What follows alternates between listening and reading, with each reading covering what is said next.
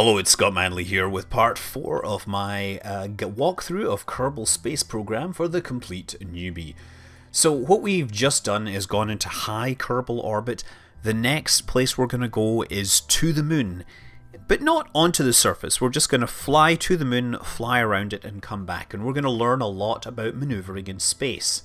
So, uh, what we want to do is send our, set our spacecraft up for this. First thing I want to do is we want to make this thing a little bigger because we would like to have more science. There's going to be high altitude science and low altitude science, so we need two of each experiment.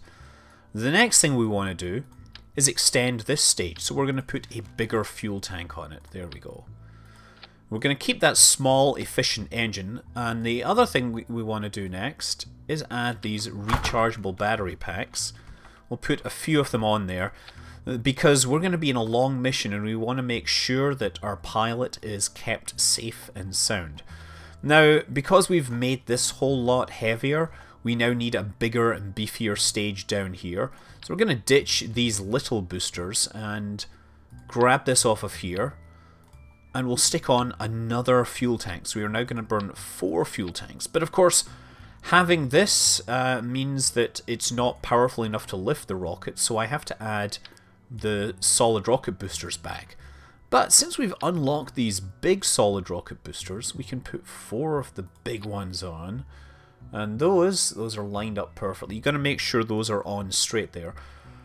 Those should help me uh, get into space a whole lot faster. I'm going to replace these. Now, because we've added all this extra mass, it means that now it will be slightly harder to steer. So I'm going to put the winglets on. We're going to put four winglets around here. Unlike these, the T1 winglets, the T1 winglets are static and just keep you going in a straight line. The R8s, they actually move back and forth and they will actually help you steer.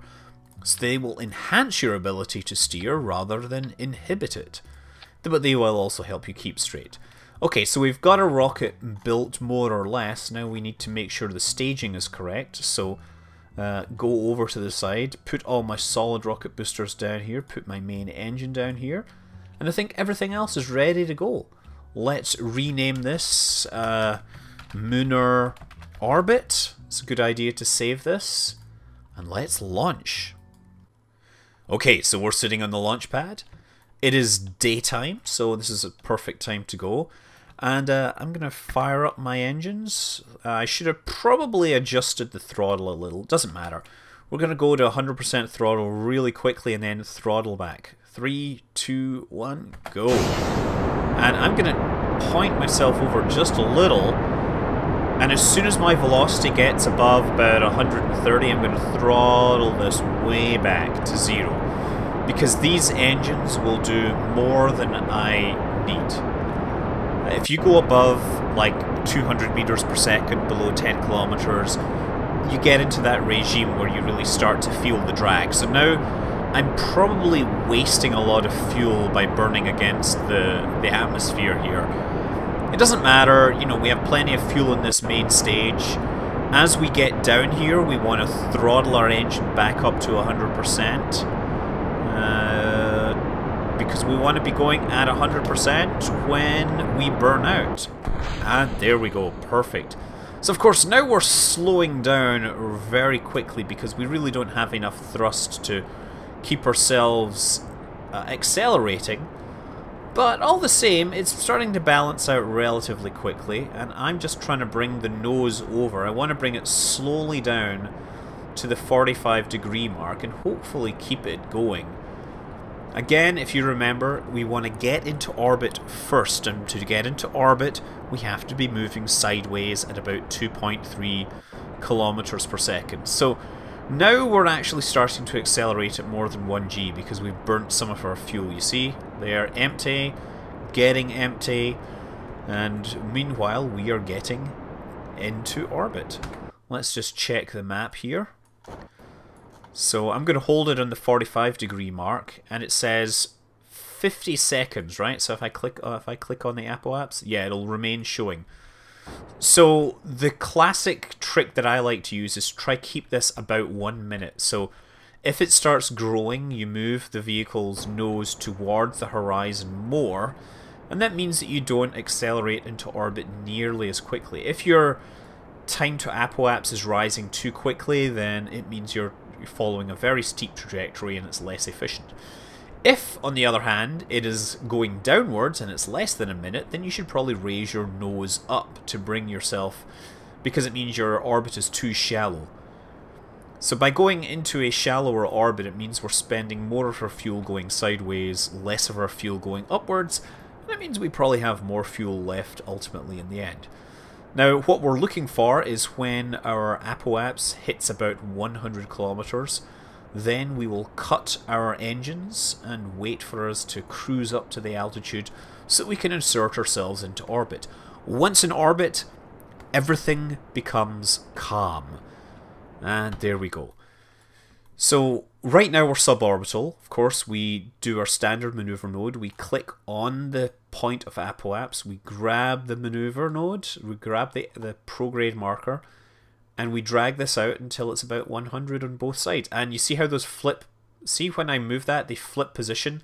That's because your apoapse and your periapse are switching positions. So if we get it about there, that should be pretty close. This will be 103, that'll be 103. Excellent. So, we have 16 second burn at in 2 minutes and 24 seconds. Before I get to where I'm going, I'm going to turn the spacecraft to point the direction I want to go. And I'm going to probably start about 16 seconds beforehand because I don't think I'm going to have enough fuel to actually, in this stage. So we're going to lock that time accelerate now, and we only time accelerate at about times 10 because if you do it too fast, it's very possible to skip past that. And if you skip past that, you will start falling back towards the surface. And if you fall back to the surface, you might eventually hit the surface. There we go, firing up those engines. We're going to get a couple of hundred, few hundred meters per second. And bingo. Ditch that.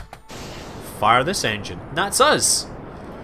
So once we're in orbit, as I said, everything becomes calm. We can very carefully consider our maneuvers. We have no science to get at this altitude. Well, I mean, there is science we could get, but uh, we're not going to cover that right now. We're mostly going to cover getting ourselves to the moon, because we want to get close to the moon.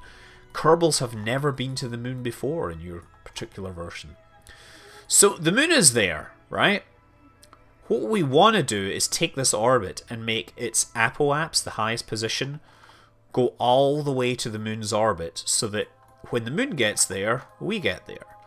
Now, as you know, if you take a maneuver node, if you if you start burning prograde on one side of your orbit, then the other side will go higher, right? See this? So by grabbing this maneuver node here, uh, what I'm doing is I'm pushing the furthest point of the orbit outwards, and you can see that's 3,000 kilometers, 6,000 kilometers. The moon itself is about 11,400, and so there we go, 11,341. So we've put the maneuver, uh, put the furthest point of this orbit right over where the moon's orbit would be. However, you'll notice that when uh, well, if I was to do this, you would go up there and the moon would not be there. By the time we get up there, the moon will have moved around its orbit. It will have moved in this direction very slowly. So what you can do is once you've set that up, you can grab the middle of the maneuver node and drag it. And if you watch, you will suddenly see an encounter, right? And an encounter is where we change... There we go. We go from orbiting the planet Kerbin to orbiting the moon. And that's a pretty good one. We can kind of move it back and forth. Now, the th key thing to note here is as I move it back and forth, we're changing the conditions of the encounter. And you see what's going to happen is after we hit uh, fly past the moon at 267 kilometers, it will kick us up into this orbit. You can also do the reverse. You can fly past the moon and have it kick your orbit downwards so that you come back to the planet Kerbin. That's called a free return trajectory. But this one is fine. I'm not caring too much because we have plenty of fuel. So we'll take that maneuver node, we'll move our spacecraft until it's over the blue marker, and now we can time accelerate our way around the planet enjoy the sunset as we're waiting 26 minutes. Of course, 26 minutes will pass in a matter of seconds as we fly across. The nice thing about being in orbit is that sunrises and sunsets happen with alarming regularity. There we go. That's the second time we've passed around the Terminator here. So I'm letting the node come up with 7, 6, 5. Don't overshoot this. 2, 3, 2, 1. And now it says 1 minute and 10 seconds. So this says 1 minute and 10 seconds. If I start burning now, I will finish the burn at the position of the node. What I really want to do is split this 50-50. So I want to have it about t minus 35 seconds, right? There we go, 46, 45. There, when it hits 35, that's when I'm going to start firing my thrusters. There we go.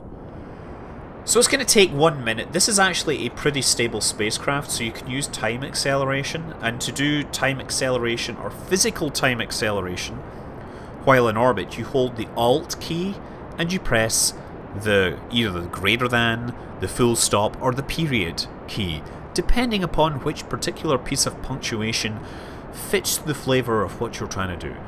Uh, I like to think of them as a less than and greater than sign, but many people look at them as the full stop and the comma key. So now I'm going to cut back to regular. If we come here, we can see our orbit is actually going upwards. See that? And I'm going to slow down the thrust just a little because we don't want to overdo it. And there we go, we've got an encounter. So I'll just keep thrusting while my periaps drops. So I'm going to mouse over this and watch my periaps drops. And periaps being the closest approach to the moon in this case. Uh, we want... Oh! And that is where the, the game gets a little confused. It thinks that we're going to fly past and then not really get it. But I'm going to do just a little further. I'm going to follow through in this. Oh, there we go. 320, that's okay. So close this, we will get an encounter 320 meters per second. And in fact, this would fling us out to Minmus, but I don't think... Yeah, I could in theory use this to get to Minmus, but I'm not going to because this is far too complicated. So at this point, I would advise you to press F5 to save. You should have a Munar encounter by now. It doesn't matter how close it is, as long as you stop when you're inside the Moon's sphere of influence. So time accelerate up. You can watch this fly away. Look at that. Beautiful. So uh, go into the map screen and you want to time accelerate until you cross into the Munar encounter region and then you want to stop. Now watch the nav ball when I switch. What'll happen is this is the artificial horizon with respect to the planet Kerbin. As soon as I cross this, it will become the artificial horizon with respect to the moon. Watch it, watch it, and flips. There we go. So now we're going to fly by. We are actually close enough to the moon that we can do some science. So what I'm going to do is put it in a vertical orientation because it's a good place to do EVA from. And we're going to grab some science. Let's observe the material bay. The high radiation environment causes a few of the samples to glow. It looks like it would be fun to paint the rocket with this. Let's keep that. Observe the mystery goo. The goo seems to be less dense here. Great. And we can do a crew report as well. You look down at the cold grey surface. It looks really beat up with craters. So we've got three pieces of science, and we get the fourth one from our EVA, right? EVA report, you've recorded your observations, keep that. Now, I want to move all these things into the capsule. First of all, you want to take the data from the capsule and store it right? And then space to let go, R to fire up the RCS, and L to put on the light is nice. So we're just going to slide down using the control key, move in close enough that we can collect the data, and it'll warn you that once you've done this, you can no longer reuse the experiment, and that's fine. Collect this data, and we have that. Again, Mystery Goo experiment, once you take the data, there is no going back. That's why I have two of these. So fly back, press the F key to get in. And now we're going to figure out how to get close enough to the surface. So the way you do this, obviously, is at the point of perihelion, or periap, sorry, you want to add a maneuver node and slow down, use it by pulling this retrograde marker. You can pull it, and what you want to do is then click on this, uh, hopefully, yeah, there it is, click on it so it will remain visible.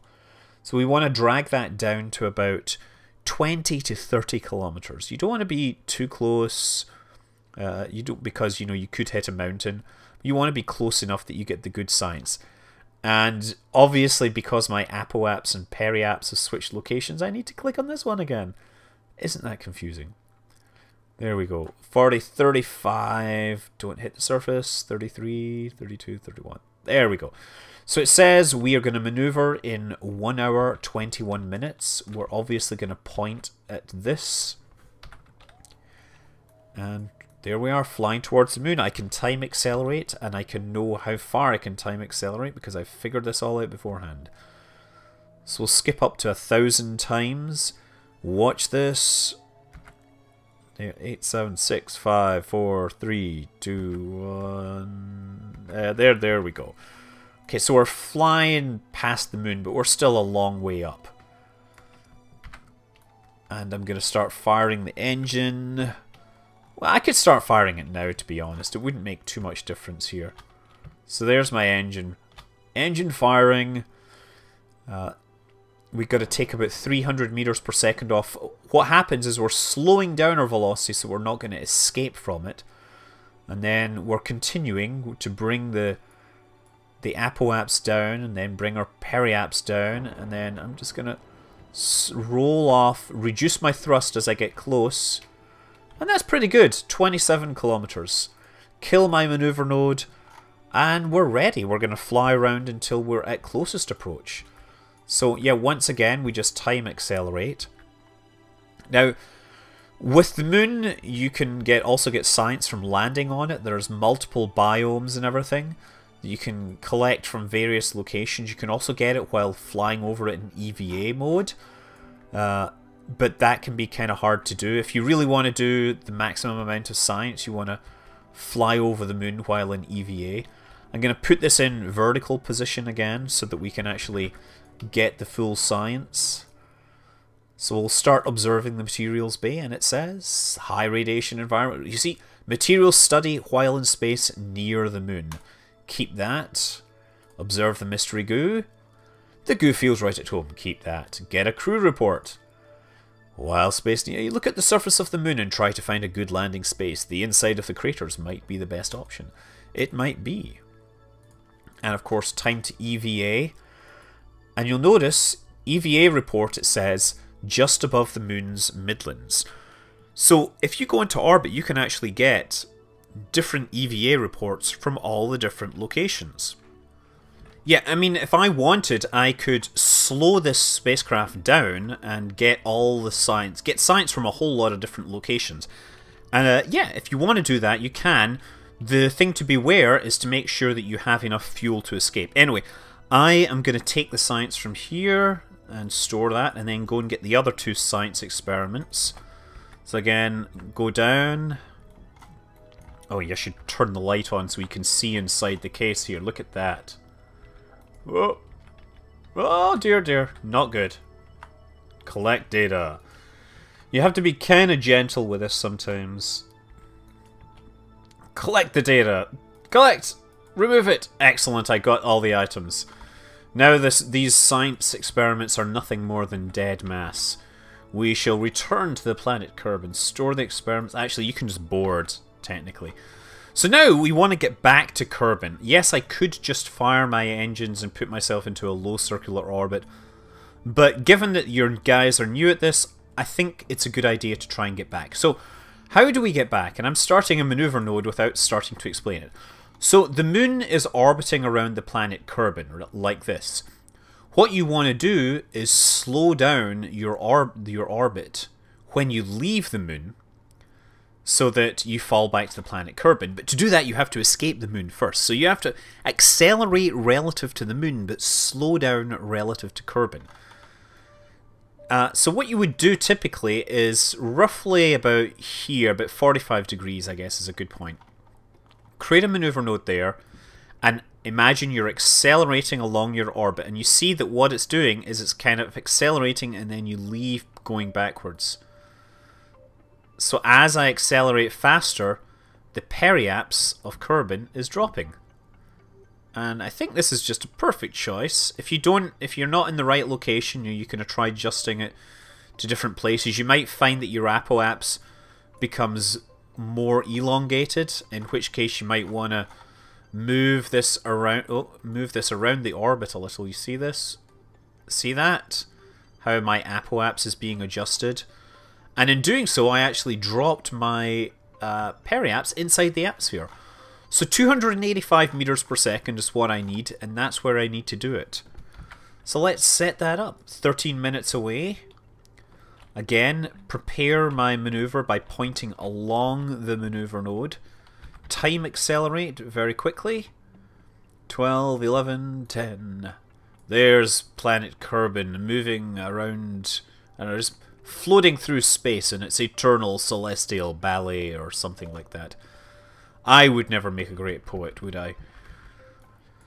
So there, it says we're about 30 seconds. Now, because I have got out of the spacecraft, it's forgotten what my acceleration is, so I don't have an estimated burn value. If you want to get that, you can do a little thrust like that, and it'll now tell me it thinks I need 16 seconds. So that's just by turning the thrust on just a little and then immediately turning it off. So we'll wait until 16 seconds, and then we'll do a 50% thrust. Actually, screw that. Let's just go 100%. Yes, of course really, the planet Kerbin's a rather rather big target. When you're going for small rendezvous, very accurate rendezvous, you want to be more careful. But uh, here, it's not such a problem. So I'm going to bring my periaps down to... I'm going to bring it down really fast, actually. Because I want to land on the daylight side. And I want to get back faster. So there, that's what's going to happen. We've we've gone from being in a circular orbit, we accelerated until we escaped the gravitational force of the moon. And by doing that, we will come out here, we will be heading down towards the planet Kerbin, and we will land. We should probably kill our maneuver node and then watch that happen, right? Here we go. Time, we can just watch the moon float away. It is all in investigated and scienced up and everything. You see the the nav ball switched as we moved over to the sphere of influence of Kerbin. As we fall towards Kerbin, we can see it rotating beneath us. It has a six-hour orbital, or sorry, rotation period. And so yeah, from this point on, it really is a standard capsule re-entry. We're going to slow down with the parachute and land safely and recover the vessel. So let's skip forward to what happens after that. Ah, coming back to be greeted by Birdsong and to find out that on that mission we got 306 science. So that's pretty spiffy, I must say. We can go and blow that on all sorts of fancy toys at the R&D centre. But uh, what shall I pick out? Well, I did say that one of the things I thought we should pick out was the electrics because it gives us a solar panel. That's a useful thing to have. And another one that's useful to have is the thermometer and the mobile processing lab, which we can talk about a little more in the next episode. Now, I'm just looking forwards on this. This gives us one other instrument, which is kind of useful to have.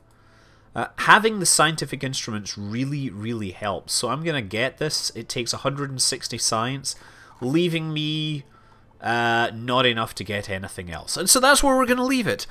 We'll go uh, we'll go further afield in the next episode. Until then, I'm Scott Manley. Fly safe.